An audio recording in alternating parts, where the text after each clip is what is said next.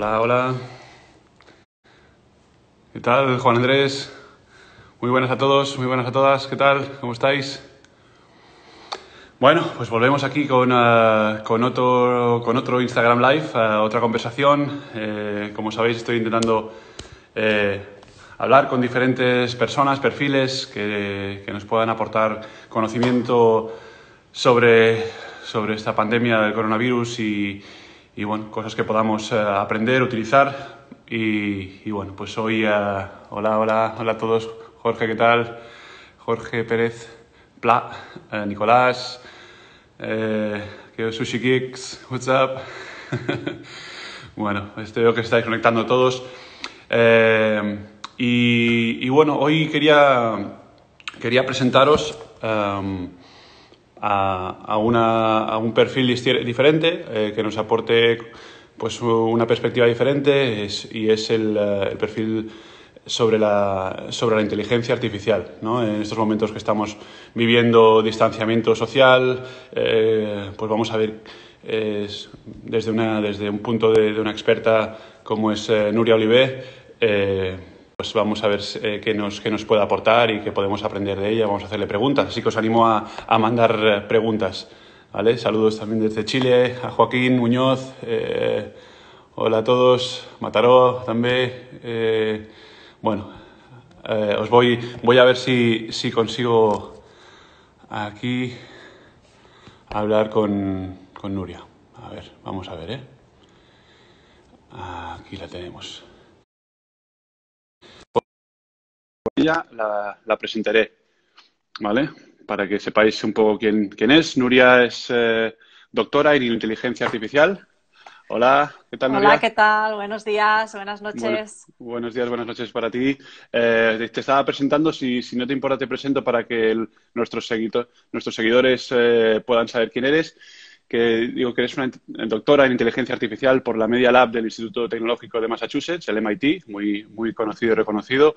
Eh, hace una semana fuiste nombrada comisionada para la inteligencia artificial y especialmente para la coordinación de la inteligencia de datos ante la epidemia por la infección del COVID-19 en la comunidad valenciana.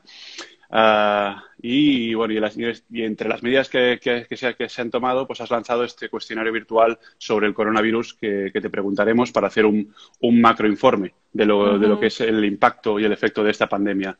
Bueno, primero de todo, gracias por, uh, por conectarte, por estar con nosotros. Eh, ¿Cómo estás?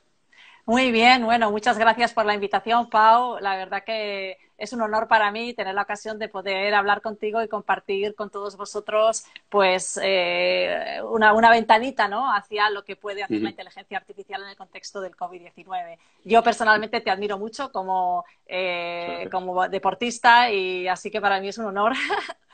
Muchas gracias.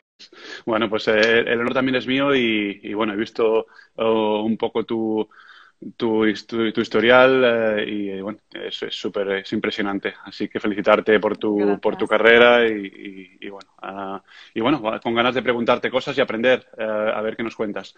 Bueno, está claro que, que en, este, en estos momentos de, de, distanciamiento social, de confinamiento, en esta situación tan atípica que estamos viviendo, uh, pues la ciencia y la tecnología tienen un papel fundamental, ¿no? Entonces, nos gustaría preguntarnos cuál es el, el papel y qué puede tener la, la, inteligencia artificial en estos momentos? Sí, la inteligencia artificial en el contexto del COVID-19, como otras enfermedades infecciosas, sí. está sí. ayudando en diferentes áreas. Eh, la primera es en el contexto del diseño de potenciales soluciones farmacológicas, ¿no? vacunas o eh, un, un, tratamiento eficaz. El segundo área es el área eh, en el que sistemas de inteligencia artificial nos pueden ayudar a hacer predicciones sobre qué tratamientos pueden ser más eficaces para qué personas en función de su historial médico y de sus eh, factores de riesgo. Y el tercer área, que es el área en el que estamos trabajando, es cómo podemos utilizar la inteligencia artificial para ayudarnos a tomar mejores decisiones públicas eh, con respecto a las diferentes intervenciones que se están diseñando para intentar uh -huh. contener la propagación, ¿no? Entonces, uh -huh. ¿en qué consiste este trabajo? Por una parte, estamos haciendo modelos de la movilidad humana. Sabemos que una enfermedad infecciosa, como el COVID-19, no se propaga uh -huh. si la gente no se mueve. Si yo tengo el COVID-19 y me quedo en mi casa, pues no lo propago, ¿no? Entonces, poder entender la movilidad humana y medirla es muy importante. Y esto lo podemos hacer gracias a técnicas de análisis ¿no? de cantidades ingentes de datos, porque estamos hablando de la movilidad de todo un país ¿no? o de toda una región. El segundo área es el área de los modelos epidemiológicos. Son modelos computacionales que nos permiten predecir cómo va a evolucionar la pandemia, ¿no? Y estos modelos eh, se pueden enriquecer de la información de movilidad, porque lo, que, lo que tenemos que poder hacer es diferentes escenarios bajo diferentes situaciones de movilidad. ¿Qué pasaría si eh, hay movilidad laboral? ¿Qué pasaría si eh, salimos todos a la calle? ¿Qué pasaría si se abren los colegios? ¿no? ¿Cómo se propagaría la pandemia?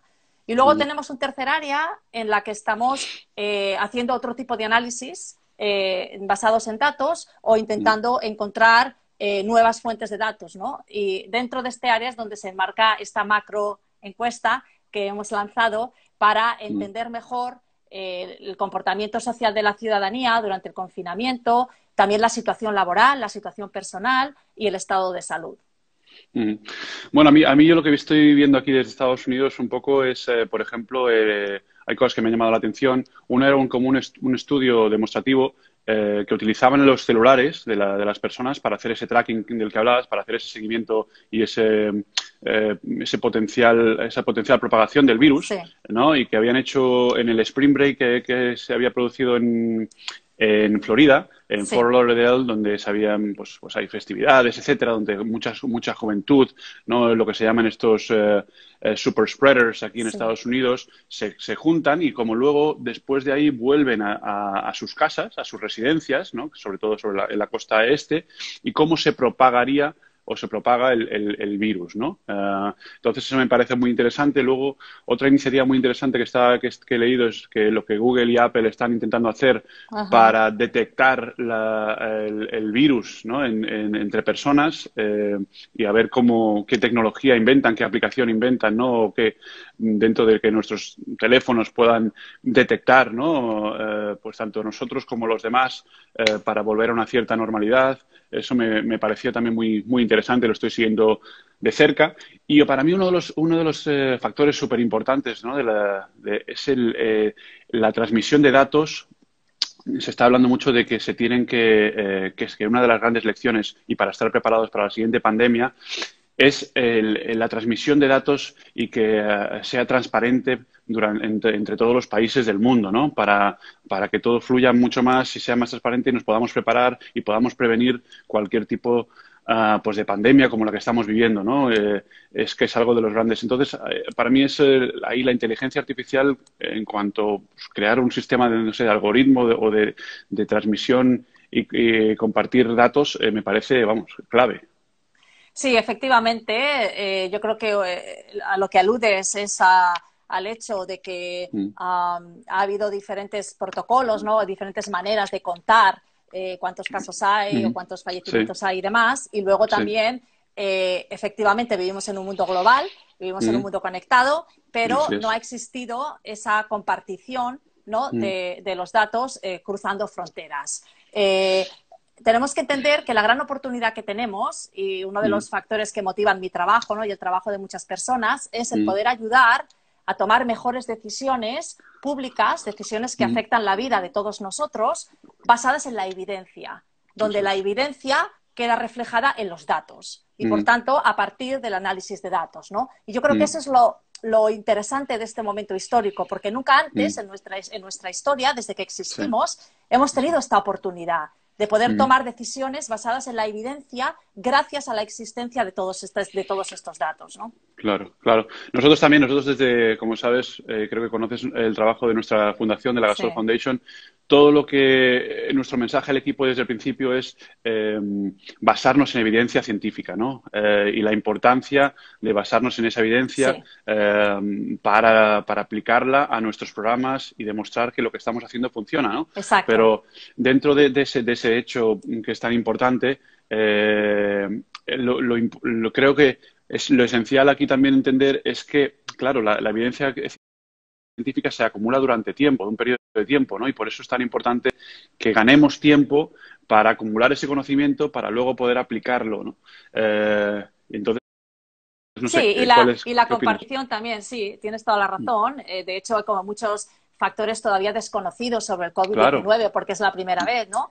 Eh, y por eso hay tanta, en la comunidad científica se mm. está publicando todos los días un montón de artículos, ¿no? Porque cualquier mm. nueva, nuevo descubrimiento, cualquier nuevo resultado, estamos intentando ser lo más rápidos posibles de compartirlo con el resto para aprender los unos de los, de los otros y para ayudar en esta toma de decisiones, porque como muy bien dices, eh, vamos también un poco contra reloj. O sea, el virus sigue presente, ¿no? Y sigue habiendo casos, obviamente, eh, sobre todo en Estados Unidos, de hecho.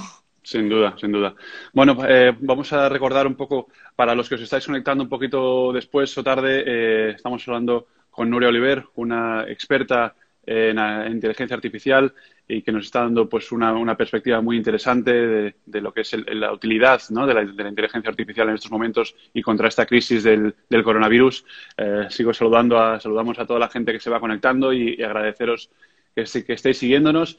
Y ahora, Nuria, si quieres, háblanos del cuestionario. Ya habéis obtenido los primeros resultados del, cuestionario en el que conseguisteis más de 140.000 respuestas, una gran, una gran respuesta. Eh, ¿Nos puedes adelantar algunas conclusiones, algunos datos? Sí. El cuestionario se llama COVID-19 Impact Survey y está en muchos idiomas. Eh, eh, lo lanzamos el último fin de semana de marzo, el fin de semana en que cambiaban la hora en España y en 44 horas conseguimos más de 140.000 respuestas, que fue increíble. Llegamos a tener casi 16.000 respuestas a la hora. Ah, eh, que es una historia muy inspiradora, si lo piensas, ¿no? De, participación ciudadana, ¿no? Y de solidaridad ciudadana. Entonces, el cuestionario tiene diferentes partes. Una parte muy importante es la parte mm. del, comportamiento social y del contacto social durante las medidas de confinamiento, ¿no? Y lo que queríamos mm. entender era eh, cómo, cuáles son posibles fuentes de contagio incluso durante el confinamiento, ¿no? Entonces preguntamos, pues, eh, si, si la gente sale a la calle, hacer qué tipo de tareas, si han tenido mm. algún tipo de contacto con alguien infectado, ¿no? Etcétera. Hay una mm. segunda parte eh, de impacto económico y laboral. Hay una tercera parte de resiliencia, de cuánto piensa cada persona que puede durar en esta situación de confinamiento. Esto es muy importante, entender la resiliencia de la población. Hay otra parte que es de salud, porque una de las grandes preguntas por contestar es cuántos infectados reales hay de COVID-19, ¿no? Sí, muy difícil de contestar, ¿no? Exacto, entonces estamos trabajando en esto. Y luego finalmente hemos añadido una parte de estado de ánimo y de, mm. y de situación de un poco de si, hay más estrés, hay más ansiedad, hay más tristeza, ¿no? Entonces, cosas interesantes que hemos encontrado. Primero, eh, y te voy a decir resultados para España, ¿eh? aunque está en otros idiomas, hemos analizado para España. Impresionante la solidaridad de la ciudadanía con las medidas de confinamiento. Eh, mm. Un 44% de las participantes mm, mm. nos dicen que pueden estar un mes más en confinamiento, pero es que hay un 30% adicional casi que dicen que podrían estar de tres a seis meses, lo cual es muy llamativo. Ah, aquí, de manera anecdótica, eh, hay una gran diferencia eh, de género entre los que contestan que podrían estar seis meses confinados, donde hay muchos más hombres que dicen que podrían estar seis meses confinados que mujeres. Interesante. Ah, quizás es porque las mujeres tienen más carga laboral en la casa, no lo sé, eh, podemos especular. ¿no? Ah, mm. Otro resultado interesante, y este, este yo creo que te va a llamar la atención, es el siguiente. Eh, hacemos una pregunta en la que preguntamos si se han hecho el test del COVID-19, ¿no? Y, cómo ha salido, si ha salido positivo o no, o, si están esperando. Bueno, pues de los que nos dicen que han salido positivo el test, un 75% de estas personas también nos dicen que han tenido un contacto directo con alguien eh, positivo. Eh, es decir, pueden identificar el origen de su contagio, ¿no? Y esto es muy importante porque no parece ser que nos estemos infectando necesariamente de gente que no conocemos o por estar en el mm. supermercado o por estar en un lugar. Eh, parece que en la mayoría de los casos eh, las personas pueden identificar pues que ha sido un familiar o, un, mm. colega mm. o un amigo. Sí, una persona ah, conocida.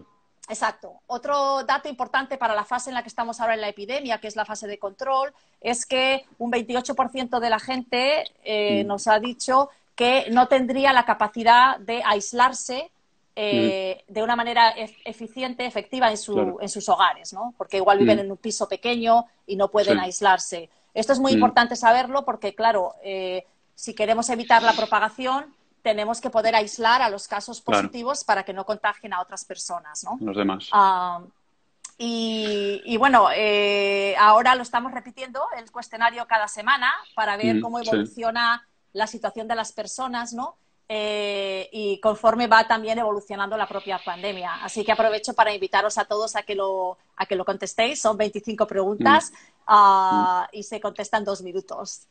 Qué bien. Bueno, pues sí, yo creo que al final el tener todo ese feedback, esa información es muy importante, ¿no? De cara a poder tener datos y, y, poder eh, aconsejar, ¿no? Adelantarse o prevenir a, a, posibles problemas, ¿no? Lo que sería el impacto eh, psicosocial ¿no? de un confinamiento de tres meses, de seis meses, eh, de los efectos que tendría en las diferentes situaciones en casa de las diferentes familias, ¿no? sobre todo las familias más vulnerables o con menos medios.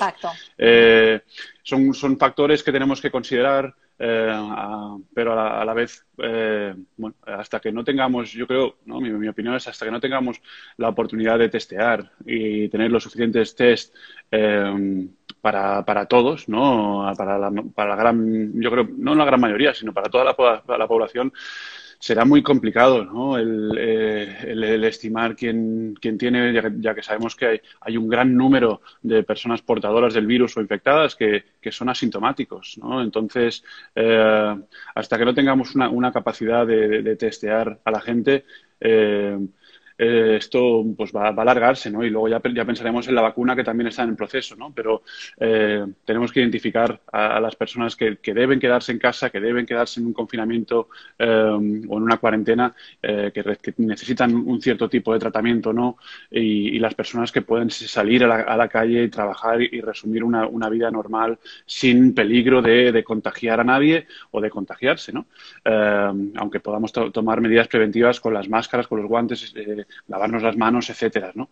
Pero bueno, eh, mucho aún, mucho, mucho por, eh, por aprender, mucho por, eh, por recorrer y, bueno, ah, vamos, es la situación en la que nos encontramos, ¿no? Pero no por eso tenemos que dejar de hacer cosas, ¿no? Yo creo que vuestro trabajo en cuanto a, a, ver cuáles son las aplicaciones y el, recaptar información y tener feedback de las familias y de la población es fundamental.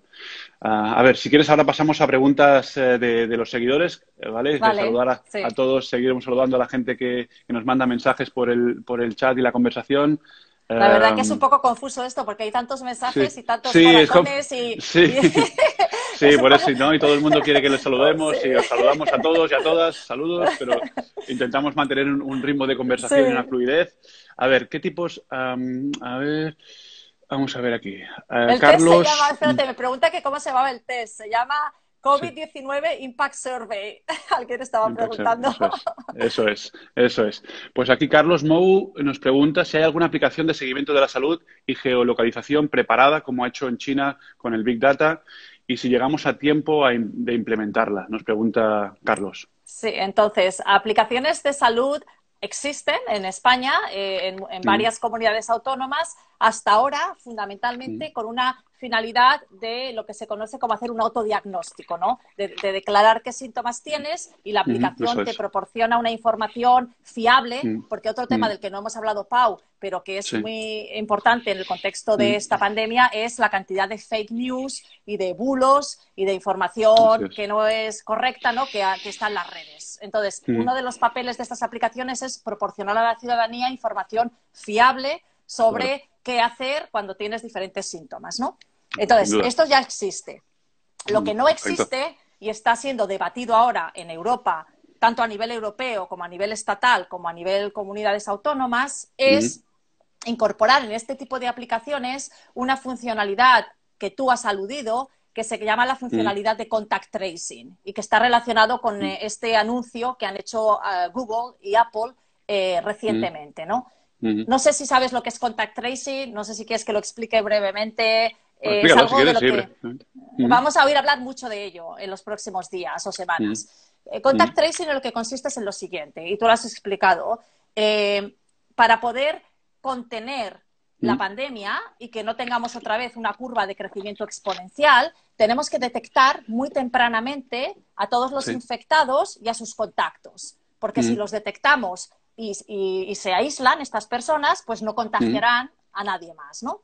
Entonces, ¿cómo detectamos a todas estas personas y a sus contactos? Y aquí entra, aquí entra este concepto de contact tracing. Si todo el mundo en sus móviles tuviese una capacidad de que el móvil detectase las personas que están en un radio de dos metros de ti, de una manera que garantizase la privacidad de las personas, entonces, y, yo, y mi móvil va eh, generando este registro de todas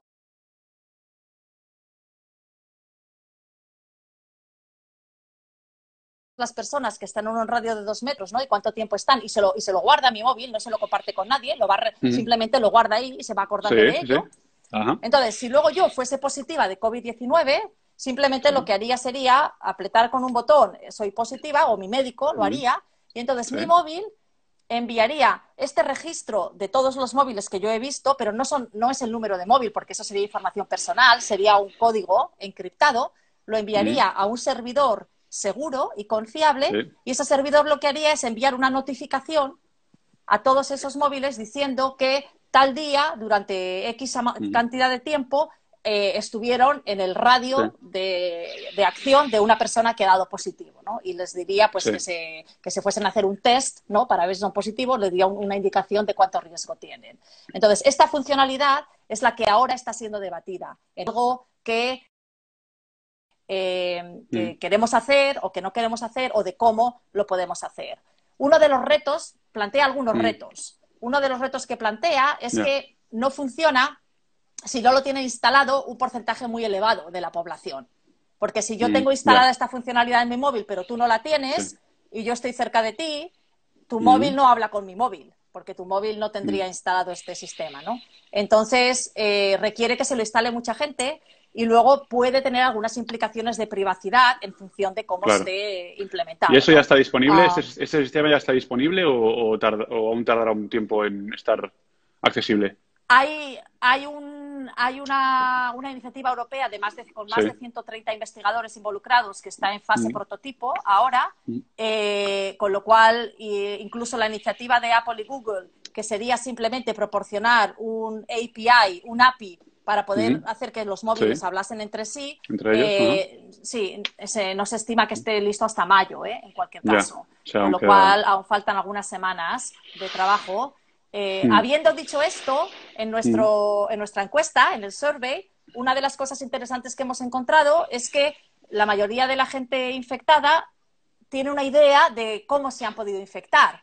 Con lo cual, otra idea un poco más sencilla sería aprovechar ese conocimiento ciudadano y la participación mm. ciudadana para que eh, las personas positivas pudiesen identificar cuáles son las personas más probables que han podido infectar, ¿no? Porque todos más o menos sabemos con quién hemos pasado tiempo, ¿no? Y a quién hemos podido infectar. Muy bien. Bueno, pues a ver, seguimos con Josep Figueras. Según vuestros cálculos, y se pueden hacer cálculos ¿no? con, el, conocimiento y los datos que tenemos a, día de hoy, que es, que, es muy complejo porque yo creo que hay mucha aún desinformación y cosas que, aún tenemos que, conocer sobre este virus y sus efectos, eh, etcétera. Eh, ¿Cuánto tiempo más nos queda de confinamientos en España? ¿no? Yo creo que es la y de distanciamiento social, ¿no? Es un poco eh, no sé qué, opinión tienes tú. Yo, yo, ya te digo, yo hasta que no haya los suficientes medios como para proteger a la población, entender quién, quién está contagiado y quién no lo está, y, y, cuando ya haya, pues eh, se dice, se, estima de, de, 12 meses, hay gente que estima un año y medio, eh, una vacuna para, para, protegernos ¿no? y tener anticuerpos eh, para que este virus no nos, no, nos, no nos, produzca los daños que está produciendo a la, a la gente, yo creo que el confinamiento tendrá que seguir hasta cierto nivel y el distanciamiento social, las medidas de, protección a nivel respiratorio de contagio eh, también. Así que esa es mi opinión. No sé qué opinas tú. Eh, sí, bueno, realmente creo que eh, coincido contigo en, la esencia ¿no? de lo que estás mm, diciendo. Efectivamente, hasta que no haya una solución farmacológica o una vacuna o un tratamiento eficaz, la expectativa es. que el virus va a seguir presente en la sociedad y la expectativa es que si no se toman medidas especiales, pues habrá más oleadas, como ha sucedido con otras epidemias como la gripe del año 1918. ¿no? Entonces, ¿qué medidas especiales hay que tomar? Tenemos que entender que no todas las personas somos igualmente vulnerables con respecto al COVID-19 y que no todas las personas jugamos el mismo papel transmitiendo el COVID-19. Con respecto al aspecto de la vulnerabilidad, está claro que las personas mayores y personas con, eh, eh, ¿cómo se dice español?, con eh, factores de riesgo, habría que tomar medidas, algún tipo de medida especial hacia ellas, porque son mucho más vulnerables que las personas jóvenes, los adolescentes, donde en principio el impacto es mucho menor. Tenemos también otros colectivos muy importantes, como es todo el personal sanitario y como son las personas que trabajan en las residencias de ancianos y las personas que ocupan posiciones de lo que se conoce como servicios esenciales, donde ahí también hay que tomar medidas especiales, tanto para protegerlos como para testearlos con mucha frecuencia. ¿no? Y luego, desde el punto de vista de la transmisión, tampoco todos eh, jugamos el mismo papel. Si yo trabajo desde casa y no interacciono con nadie, pues tampoco voy a ser una gran transmisora, pero si soy un super spreader, ¿no? De los que has hablado, una persona que estoy todo el día relacionándome con unos y con otros, que mi trabajo conlleva, conlleva ver a muchas personas, mm, pues... Sí, contacto eh, personal. Exacto. A lo mejor en esos casos es donde hay que también adoptar algún tipo de medida mm. especial para asegurarnos que esos super spreaders ¿no? No, van a contribuir a, expandir más la enfermedad. Eh, la expectativa es que va a haber eh, una dinámica de relajación de medidas de, contención social y distanciamiento o, no, no, en función de cómo vaya eh, progresando la propia epidemia, que es lo que está pasando mm. también en los países asiáticos. Cuando detectan que hay un brote y que el brote empieza a propagarse, entonces aplican otra vez medidas de contención, ¿no? Y esto es un poco lo que yo entiendo que también va a pasar en Europa o, en Estados Unidos. Sí, no, es, una situación muy compleja, ¿no? Muy, eh, yo creo altamente compleja porque si tú te relajas y te confías cuando la curva desciende eh, y aligeras un poco o aflojas las medidas de confinamiento, esperas un par de semanas a que el virus pueda crear un nuevo brote, lo detectas un poco tarde y vuelves a, aumentar las medidas de confinamiento, los golpes psicológicos a, la gente y emocionales son, son muy grandes, son, son, demasiado fuertes. no, y además tenemos que entender que eh, este es un fenómeno de crecimiento exponencial y que si te das mm. cuenta demasiado tarde, igual ya la curva se te ha ido, ¿no? Y por eso es tan importante lo que hemos hablado, Pau, de, mm. tener datos, de poder basar las decisiones en la evidencia, ¿no? De tener el máximo de eh, evidencia para orientar ¿no? la toma de decisiones. Totalmente, pero para eso necesitamos necesitamos conocimiento necesitamos tiempo eh, y necesitamos las herramientas suficientes como para no estar en situaciones de, peligro ¿no? Eh, y de riesgo, de alto riesgo. Entonces, eh, yo creo que por eso es, es, clave el, seguir un poco en, esa medida preventiva, en, el, en, esa, en ese perfil o camino de ganar tiempo y poco a poco pues ir utilizando las herramientas, la energía y el trabajo de todos para batir a, este virus y, y ganar esta batalla, ¿no? Así que ese es un poco, yo creo que eh, a, grosso modo eh, las conclusiones que también podríamos podríamos ir sacando y, y, lo que podemos lo que podemos controlar a día de hoy siendo lo más precavidos posibles eh, para, para, eso para poder mm, ganar más conocimiento y tener más herramientas para ganar a este virus. no, sin duda. A ver, yo creo que también es importante reconocer eh, el sacrificio personal que conlleva el hacer el seguimiento, el, seguir todas estas medidas de confinamiento, tanto desde un punto de vista de salud como desde un punto de vista tanto mental ¿no? y emocional como física, pero también desde un punto de vista laboral ¿no? para, para, muchas personas. Y ese sacrificio ¿no? y esa solidaridad de la que hemos hablado, creo que también es muy importante ponerla en valor eh, y también entender que cada uno de nosotros contribuimos o no a que haya pandemia, porque en realidad el virus no se propaga si nosotros no lo propagamos, ¿no? Cada uno de nosotros somos actores en esta Está pandemia, claro. Mm. Cada uno tenemos que hacer nuestra, nuestra parte, ¿no? jugar nuestro rol, el rol que tengamos, que podamos jugar. Eh, y bueno, nosotros te agradecemos el rol que tú, que tú estás jugando dentro de esta pandemia y, bueno, que cada uno haga el suyo en su medida. ¿no? Así que ese es un poco también el, mensaje de, de, ánimo, pero también de responsabilidad individual eh, en, este, en este momento.